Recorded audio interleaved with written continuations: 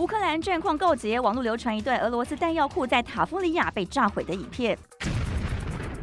火光陆续窜出，四处浓烟密布，遍地火焰燃烧。乌军声称摧毁六十八个俄军装备，还有三座弹药军备仓库，粗估直接损失整整五个连的军备。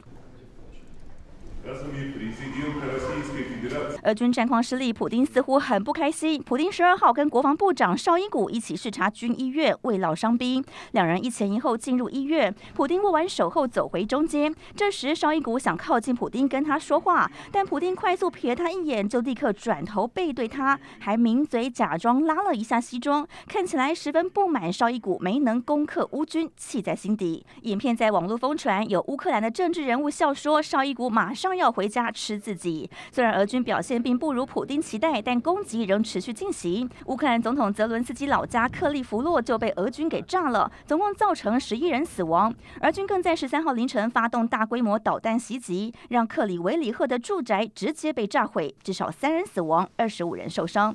美国传出将援助乌克兰威力巨大、能射穿装甲的平铀弹。俄罗斯也将在白俄罗斯部署战术核武。白俄罗斯总统卢卡申科证实，一切都已准备就绪，将在七月七号到八号被托武器后的几天之内部署完成。